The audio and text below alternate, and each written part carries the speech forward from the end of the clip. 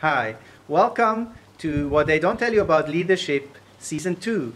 Today featuring Michael Berg, Director of YWAM Orlando and convener of the YWAM region Eastern North America.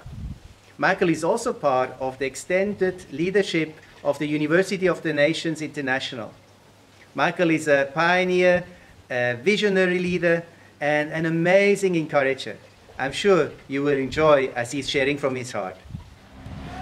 One of the things that maybe surprised me about leadership was that uh, how, how often uh, people will say things that are hurtful or betray you.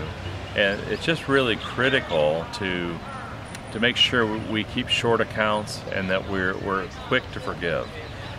Forgiveness is not something we teach in our basic level training, our discipleship training school, and then it's once and done.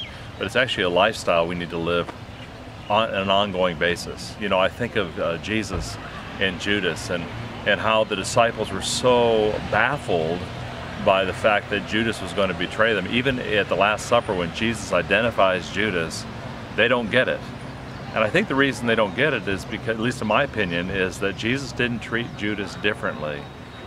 He treated him through the, the, the heart of forgiveness and the heart of love. And, and that's really an important factor for us as leaders. If we're, if we're going to, to last for the long haul, to finish well, we have to be people who are willing to forgive and to forgive quickly and not to carry offense into our future. So it's absolutely critical. Of course, the other piece of that is that we also need to walk in humility and be willing to live a lifestyle of repentance because no, no leader is perfect and just because we've arrived at some kind of position of, of authority or responsibility does not exempt us from the basic truths of Christianity that require us to live lifestyles of repentance and to, to take ownership of our failures along the way.